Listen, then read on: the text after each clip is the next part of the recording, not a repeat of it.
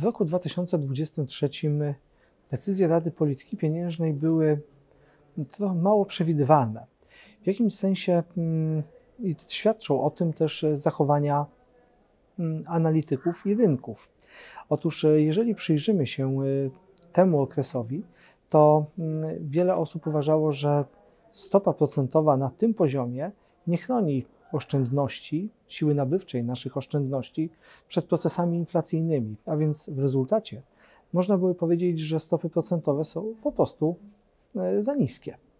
E, z drugiej strony, e, w tym roku doświadczamy w szczególności efektów bazowych tego, że inflacja jeszcze rok wcześniej była dużo wyższa, a więc ona ma taką naturalną skłonność do spadania do pewnych niższych poziomów, ale to nie oznacza to, że ona spadnie do zera, czy że ona zejdzie do tak zwanego celu, który chce osiągnąć Rada Polityki Pieniężnej.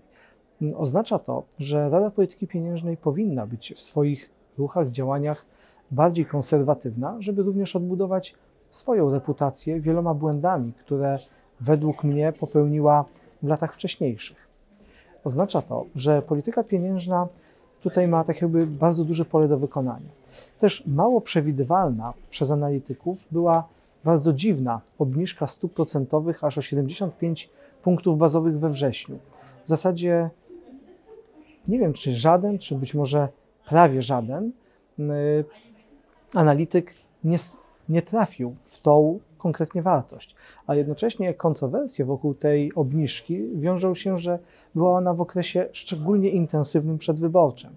I tutaj można sobie zadać dużo poważniejsze pytanie o niezależność banku centralnego, który powinien być niezależny od pewnych zdarzeń w domenie politycznej w swoich decyzjach.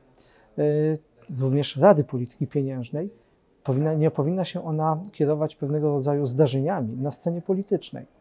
Y, dlatego mm, tych kontrowersji wokół tego, co się wydarzyło we wrześniu, jest zdecydowanie więcej.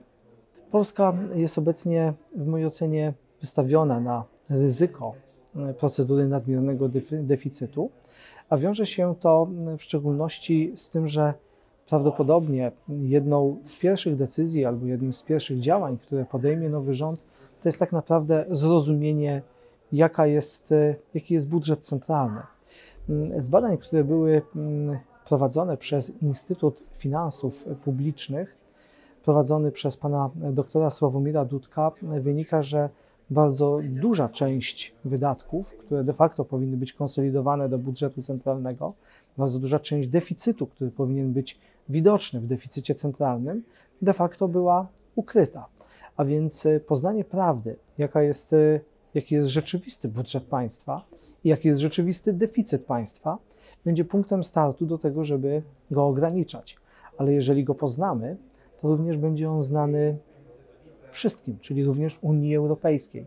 Unia Europejska, jeżeli zobaczy, że jesteśmy zbyt daleko od oczekiwanych i deklarowanych wskaźników, może rozważyć y, pewnego rodzaju procedurę, która będzie ograniczała y, wcześniej, wcześniejsze działania, które skutkowały tak dużą ekspansją.